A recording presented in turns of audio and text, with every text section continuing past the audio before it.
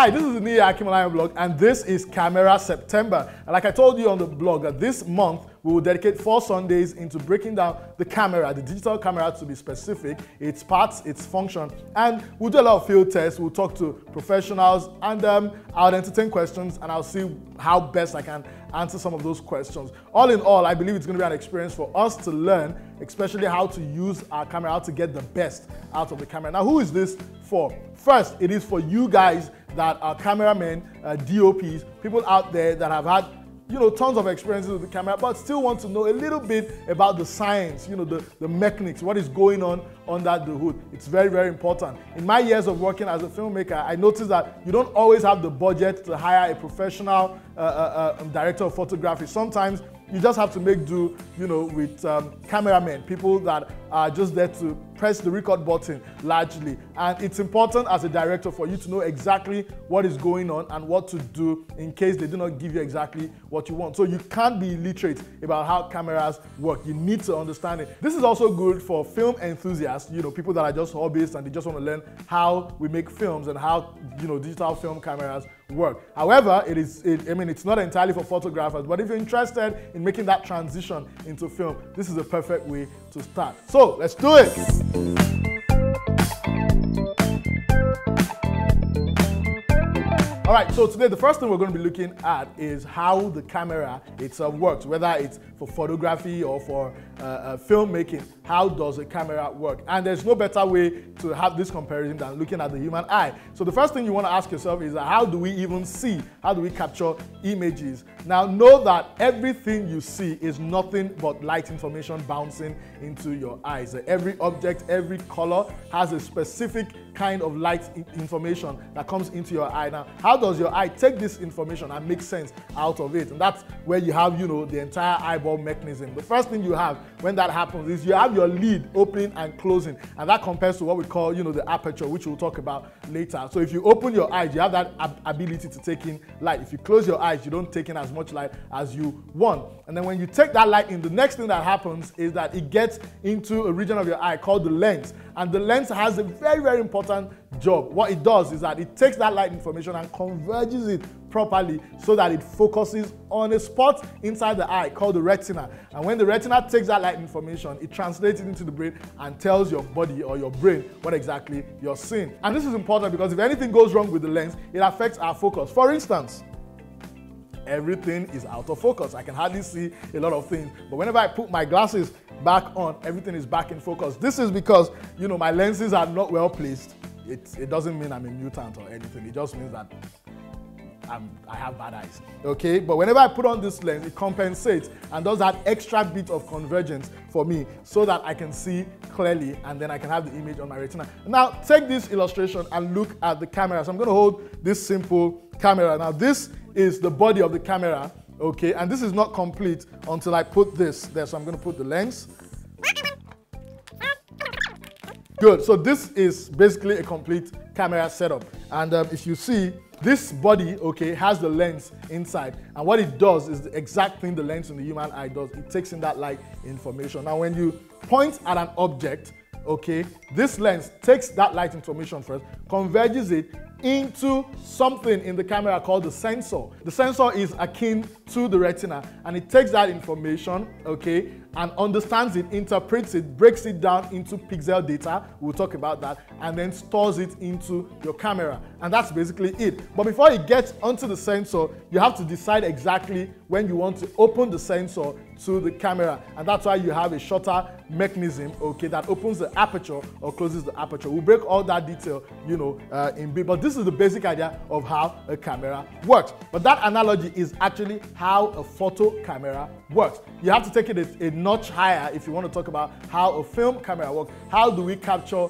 moving images? So think about it like this. While a photo camera takes an image in time and freezes it, a film camera takes it a step further and captures the entire motion as much as it can. So let me give you an example. Give me an orange.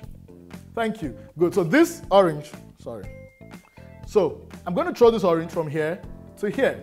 And you would see that if I was to take a photograph, I can decide at which point I want to freeze this. It could be here, it could be here, it could be here, it could be here. But with a film camera, I need to reimagine how I want to capture this entire motion. And in capturing that motion, I need to find a way to take every frame every frame. Now, what is frame? Frame is just a snapshot in time. That's what we call it. A frame is a snapshot in time. So I'll take a picture here, I'll take a picture here, I'll take a picture here, I'll take a picture here, I'll take a picture here, I'll take a picture here, and I'll take a picture here. If I have a way to take all these pictures and play it back to someone, then I would have video.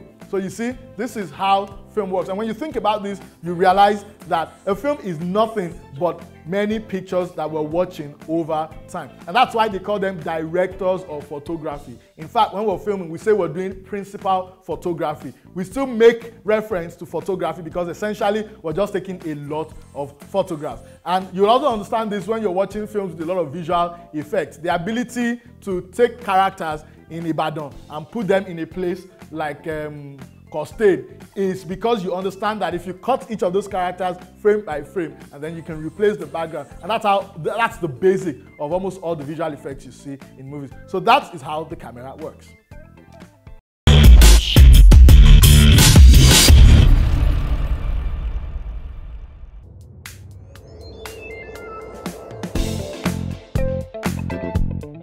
Okay, good. So we just established that you need to think about how a camera, a film camera captures images by thinking about it in terms of pictures by pictures over time. Now that's interesting.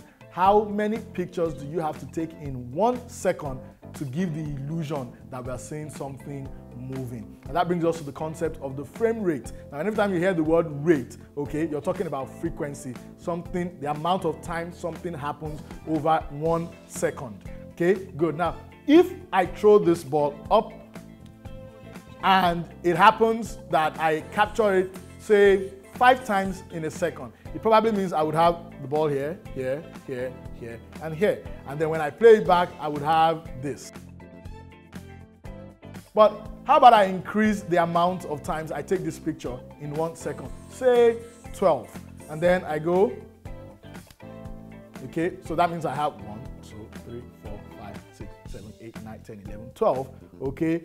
And before, you know, I, I have a second complete. So thinking about that now, what do you think will happen when I increase the number of times I take that picture? Yes, you guessed right. The more I increase the number of frames, the more detail I have about the motion, the more information I have in time, and the smoother the motion would be. Now that brings us into the ways of looking at the frame rate. We have the recording frame rate and we have the playback frame rate. The recording frame rate is the amount of times we take these pictures in a second. For film, the standard is usually 24. Now, this is not, there is no um, super scientific reason why it is 24. It had to do with a lot of you know, the way the technology was way back in the early days of film, and they stuck to it because they realized that at 24, you have enough uh, uh, frames in one second to make everybody believe that they're watching motion. But what happens when I increase the number of times that I'm doing this recording? Nothing really, because if I make it 24 or I make it 120 frames per second, I am still capturing this ball falling at the same time. Frame rate, by the way, is measured in frames per second. But here's a question. If I can record something that happens in a second 12 times, if I can record it in 24 times, if I can record it 120 times, what exactly have I done? After all, the whole thing still happens in a second. That brings us to the next thing, playback frame rate. This is important because the way we perceive an image is largely due to how it's played back. Now that tells you something. If you're playing an image at the exact same speed at which it was recorded, you're going to see the same action every time. So you're going to see this happen in exactly one second. So let's say we shoot this in 24 frames per second. And happens in a second, and then I play back at 24 frames per second. What do I get? The same thing. But what if I shot this in 120 frames in a second? So we have this, okay? But when I play back, what exactly do I see? Who can guess? Yes, you're right, we're going to see this.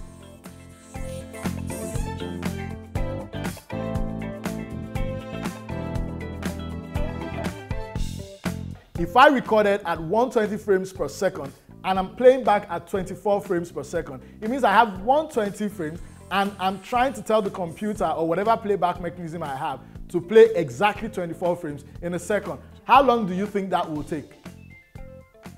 5 seconds, 120 divided by 24. So it will try to play 24 frames in a second, but because I have 120 frames in a second, I'll end up having this delicious slow motion in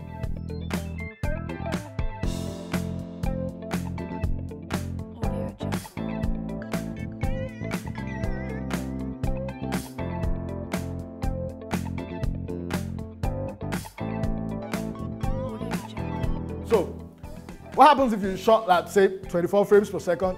Well, you're playing back at a high frame rate. Who can guess? Yes, of course you're gonna have, you know, a bit blocky type movement because you don't have enough frames to compensate for the time that you're putting into it. So that's important. You need to think about the playback rate, you need to think about the recording rate. Most film cameras would allow you to record at multiple frame rates, okay? Starting from the digital ones will go starting from 23.976, which is digital, which approximates to about 24. Some will have straight on 24. Some will take, uh, some will allow you shoot at um, 25, some 50, and the high-end cameras, you know, like the ARRIs and the Reds and all this, you can go as high as 300 frames per second. Did you know that every time you're watching a sporting event like football or even the Olympics, swimming and all this, and they want to highlight a special moment or a playback, they always play back at delicious slow motion. Do you want to know why? Because some of these cameras are recording up to 3,000 frames per second. Now imagine if you're playing back and you're watching on your TV at about 25 frames per second and you have 3,000 frames. Now think about why you like shots like this.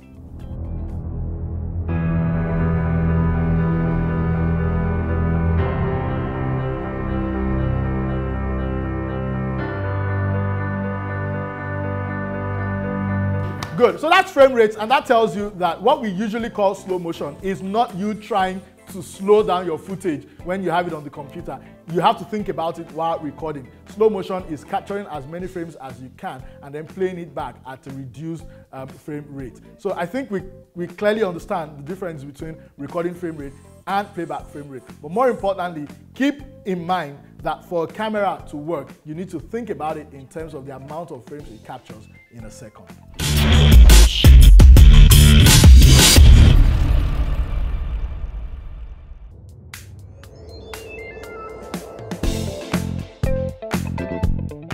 So now we're going to talk about something really important, you know, the foundation of all digital images, pixels. What is a pixel? A pixel is the smallest unit of a digital image. It's as simple as that. So when you think about an image, everything you see, every picture, every film, anything you see that is being stored on a digital camera or processed on a computer can be broken down into small boxes of color. So look at this example. So this is the image of a beautiful girl. So this is the picture of Bumi. And you're looking at Bumi when you see the entire image in its you know, full glory and resolution. That looks like Bumi. But see what happens when I zoom close and close and close enough. What do I see?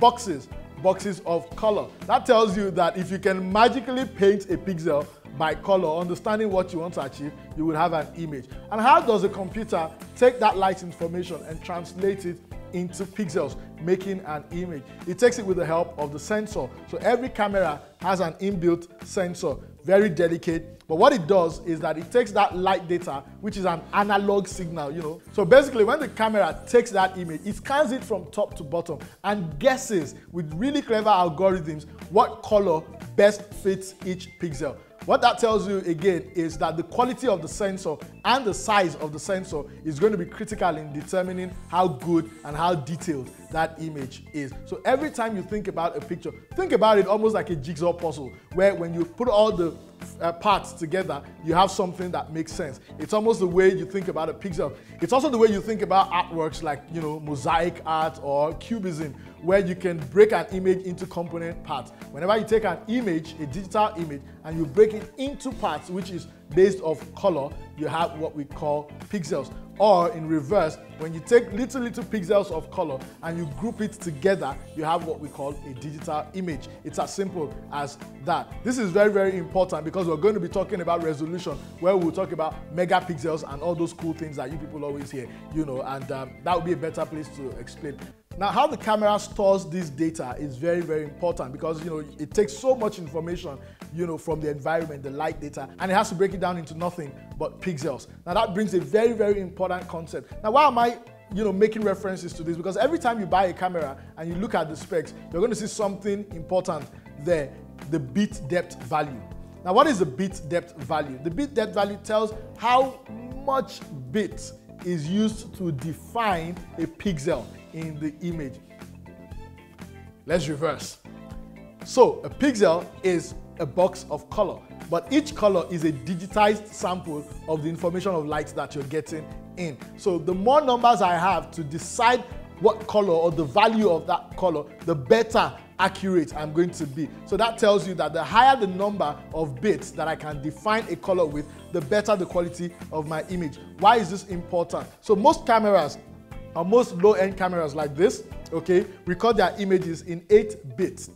Okay, and what that means is that it requires about 8 bits to define, you know, a color range. We're not going to go into extra details about that, but I'm going to use that to explain why some of these cameras have better quality than the other. But a high-end camera like a Red or an ARRI would have images recorded at about 12 bit, some even 16 bit. And that tells you that if you have as much numbers, because what we call bit, okay, is just the digital fragments or those numbers that we use in defining digital objects on the computer. When you have as many numbers as possible to define one pixel or to define components uh, of an image, the more, the merrier, the more, the better. So that tells you that whenever you see a camera and you look at it and they tell you that the image or the storage format is 8 bit or the processing you know starts on 8 bit, you know that you will not get as much information as you would need than if it was 16 bit. So bit depth and pixels, they work together. The more bits you have to define an image, the better the quality of pixels that you have in defining the overall image.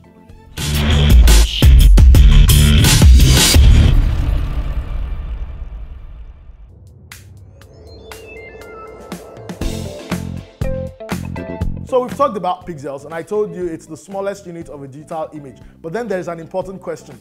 How many pixels do I need to define an image?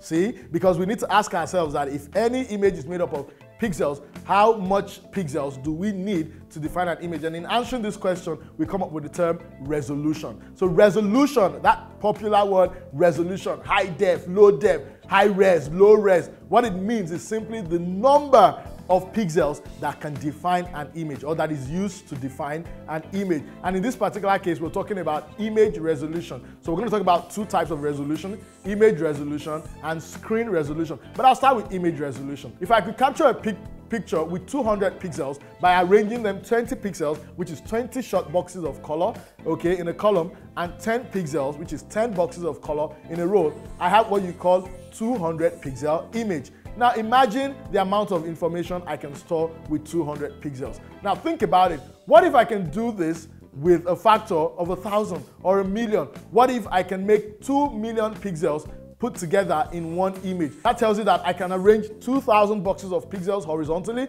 and 1,000 pixels vertically. And ultimately, I have 2 million pixels. Whenever you have a million pixel, you call it a mega pixel. So every time you get 2 megapixel, 3 megapixel, 4 megapixel, you're talking in millions. So 3 megapixels, 3 million, 12 megapixels, 12 million. But let's break it down even further. Whenever we think about resolution of an image, particularly in film, we do not think about the number of pixels together. Rather, we put them in dimensions, horizontally and vertically. So if I tell you that an image is 1920 pixels by 1080 pixels, that is 1920 pixels, 1920 boxes of colors arranged horizontally, and we have 1080 pixels, that is boxes of colors arranged vertically into a grid, into what we call a bitmap. What do we have? We have 1920 by 1080. And if you use your phone, calculator rather, and um, so let's do that multiplication, say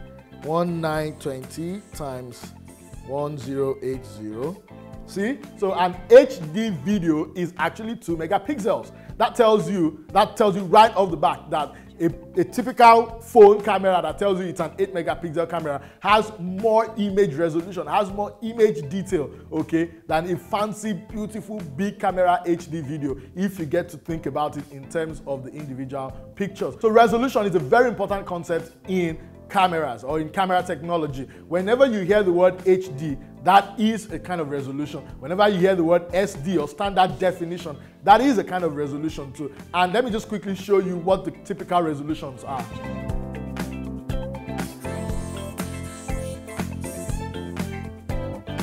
So right now, you know, uh, one of the popular resolutions that everyone is using in the digital space is 4K. 4K, when they say, whenever they say 4K, now don't make that mistake. They're not saying 4 megapixels, okay? It's not 4 million pixels per se. But when they say 4K, what they're talking about usually is the dimension of the horizontal. A 4K image or a 4K resolved image is about 3840 by about 2160. So a 4K image, when you think about those numbers, is about 8 point something megapixels. Okay, so it's 4K, but whenever we mention 4K or we mention 2K, we're usually talking about the horizontal dimension. So don't get it confused. 2K doesn't mean 2 megapixels, 4K does not mean 4 megapixels.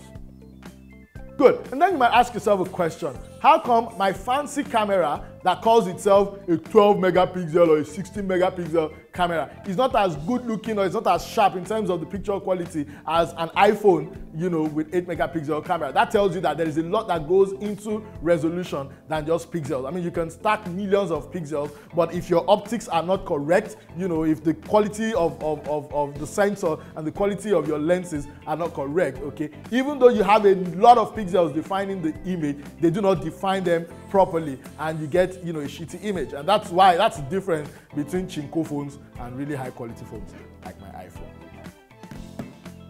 Good. Now that we've looked at image resolution, let's talk about screen resolution because they are the same thing, but then their usage is a bit different. So a screen resolution also is the amount of pixels that the manufacturer of the screen has used in defining the screen, or it's the maximum amount of pixels that has defined that screen. So if you have an HD TV, if you have an HD TV, it is HD resolution in its maximum. And you see that every time you buy these HD TVs, they're always bragging about 1080p full HD. What they're saying is that it's nothing but a 2 megapixel screen. It's nothing but a 2 megapixel screen with 1920 pixels arranged horizontally and 1080 pixels arranged vertically. Now that brings a very important question. If I shoot something at 4K and I'm projecting on an HD monitor. What exactly is going to happen? I'll tell you what's going to happen. If you shoot something at 4K, you have a lot of data, you have a lot of information so that when it comes into the HD, you're getting really sharp images, really beautiful. The, the, the, the, the, the, the television or the monitor, whatever it is you're viewing, has the ability to get the best out of that 4K image and give you something crisp. But it doesn't change the fact that what you are seeing is nothing more than an HD resolution. It's nothing more than that. And that also tells you that if you had shot originally in HD, what you see is exactly what you're going to get. Now, is the difference a lot? Well, not always very much. So it's always advised that in film, if you're planning to release big, if you're planning to release like say in a cinema, okay, in digital cinema where you know 4K looks really good because then it's really big, then you really want to think about the kind of camera you would use. What this also means is that if they tell you that a TV or a screen or um, any monitor device is 4K and you put an HD image on it, you're going to have to scale up the image a little bit. So definitely it will not look good okay, on that 4K screen as much as it would on an HD screen. So you see that whenever we watch films or TV particularly that were shot in low resolution SD 720 by 576 back in the days and we're watching them on our big fancy TV, it looks really, you know, scaled out blood. It doesn't look as crispy uh, as possible. And if you're at home and you have an HD and you're watching HD broadcast, you can always tell the difference. So every time you shoot in a low resolution and you watch or you project in a high resolution, the quality is not as good because it has to scale it. But if you shoot in a very high resolution, even when you're watching a low resolution, you can be sure that you will get good quality for your money. And that's beautiful because now you can shoot at high resolution, watch on a high resolution monitor, and people on low resolution monitors or screens can enjoy it. But that's important when you think about it because if you're shooting content strictly for, say, mobile phones, Do you really need 4K resolution? That is going to help you think smartly about your decision making. Your choice in resolution strictly should be based on screen resolution, where you are going to eventually show this thing. Are you projecting it in cinema? Are people going to watch it in their TVs at home? Or are they going to watch it on a phone? Think about that before you invest a lot into film. I hope that clears the air on what resolution is.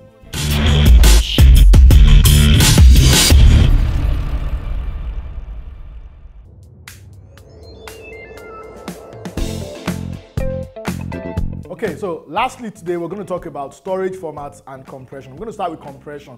Now, it's almost impossible to capture the entirety of an image, okay, on a card or on a storage device. That's a lot of data. So what camera manufacturers do is that they figure out interesting tricks, okay, to compress the image, okay, to make the image still look good, okay, but sizable enough so that you know you can put it in your card. And different cameras have different ways of thinking about storage. I'm to start with the 5D Mark III, which is of course a camera that everybody is um, uh, used to. It stores its files as a QuickTime file, but compressed, okay, with a format called the H.264. That's the kind of compression that gives you good quality, okay, for I mean, for the value of what uh, uh, uh, you're buying. And when you think about it, it's really, really good. A lot of great stuff has been shot with this camera. But then, of course, it has a drawback, which is the 8 bit. We're going to talk about a lot of that in the Q&A session, so don't miss that Q&A session where I break that down uh, uh, into bits on Facebook live. Now, compression is very important, but then again, if there are ways you can extract the image out of the computer without compression, that is always a smarter way to go about it. Now, for the 5D Mark III, there have been all kinds of hacks, you know, magic lantern, and a lot of people have figured out different ways to extract that data because originally the Mark III stores image as 4K and then compresses it down into HD for a lot of people to use. I'm excited about the 5D Mark IV that is coming out. It actually shoots 4K, although a bit compressed, but I mean, that's, that's good resolution for a lot of people and it will serve a lot of purpose. I'm excited to see how that turns out. Back to compression. Now, some cameras have different and interesting ways of handling their compression. Another great compression method, okay, will be the ProRes, which is getting very, very popular with cameras like um, the, you know the Blackmagic, uh, uh, even the ARRI Alexa they have options for ProRes. ProRes is a very fantastic compression format that is almost lossless in quality and it was developed by Apple. But for most professional cameras, if they don't have compression built in, they give you the ability to extract the data. You can extract the raw data using different devices, you know, decks, you know, to capture, you know, raw data, which is using very high-end productions or advertising and all that. But there are some cameras that think about it in terms of raw format. And raw is very, very important. For those of you who have used, you know, digital photo cameras, you understand what the raw format is. The raw format allows you, okay, to work more even in post-production on an image that has been shot. So even if you didn't get some things right, like color temperature, like exposure, whenever you shoot raw and you have raw data out. You can make all those adjustments in post. That's a very, very fantastic way of getting images out of it. So if you're thinking high-end production, if you're thinking about flexibility in what you want to do with post, it's always advisable to shoot raw. And whenever you shoot raw, you need to think that the more compression an image has, the easier it is to store, which means smaller file sizes. But if you're going for lower compression or raw files, then you're going to have to deal with a lot and lot of storage. When you think about storage or storage formats, different cameras come with their pros and cons. I particularly love the Red camera because although it's a raw format, but it's actually compressed, okay? But the compression is almost lossless. It's good enough that you can work with it in post, get a lot of things out of it. All the other cameras too have fantastic raw files that you can take straight out of it, work in color correction, fantastic. Now, what is the beauty of raw file? What is beauty of having low compression or having high resolution? It's important that whenever you think about using a camera, you're also thinking about what you will do in post-production.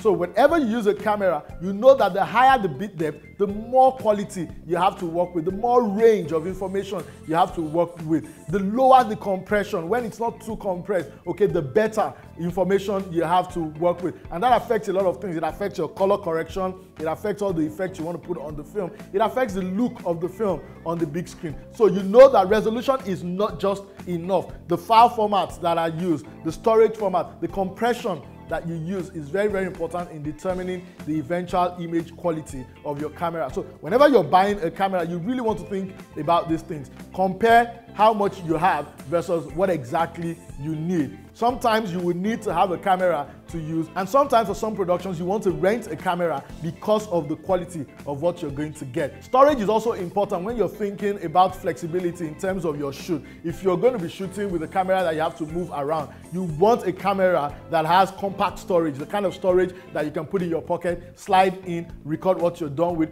change it immediately, and get it going on. If you're going to be working with cameras that require heavy storage and constant transfer of files, then you want to be thinking about the kind of production you want to use that for. So maybe for feature films where you have large skill sets and you're not moving from location to location all the time, you want to think about that. But if you're shooting like, you know, a short form documentary or something that requires you to move around a lot, you want to be thinking about a camera that allows you to do quick storage. Also, if you're making a film whereby you do not exactly have the details of what your shoot is, you want to be able to capture as much data as you want. That should get you thinking about storage. But remember that the quality of an image is a combination of all these factors. Compression, optical quality, pixel resolution, frame rate, and all this together. So this is day one. I hope we've been able to cover, you know, quite a few uh, uh, concepts about cameras. If you have any question, please throw it in the comment section right here on the blog. I will only answer questions that are asked here on the blog. I won't answer questions on YouTube or on Facebook. So please drop the questions on the blog. That way, a lot of other people coming to the blog can read it. It's going to be even more exciting next week when we talk about basic camera anatomy. We're going to look at really interesting, cool stuff you can do with your camera and how exactly it works from the inside out. It's Niyi Akinmolayan once again, and thank you for watching.